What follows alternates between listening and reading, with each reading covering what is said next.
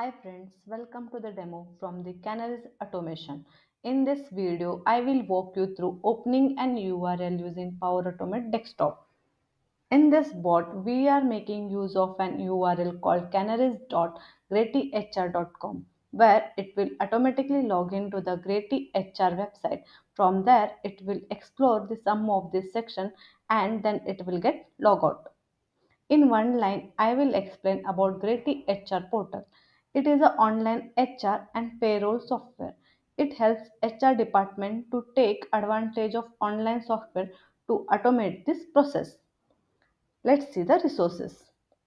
The resources which are required to run this bot are Power Automate Desktop to write the script and Microsoft Edge for a web browser. Now see the flowchart. When we start the flow, it will launch the browser by using URL which we are providing. Then it will log in to the greytHR with the help of login ID and the password.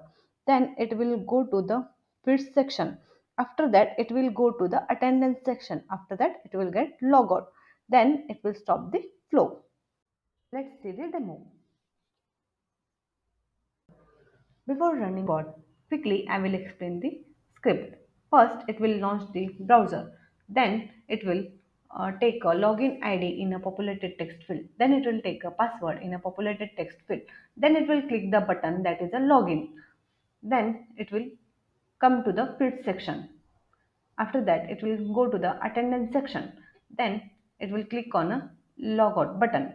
Then it will close the browser. Now let's run the bot.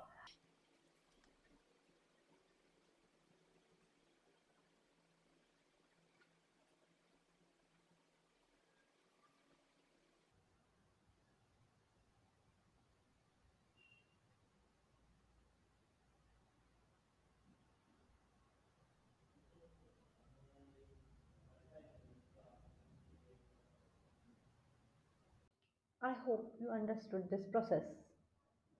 Thank you for watching. If you like this video, like, comment and share.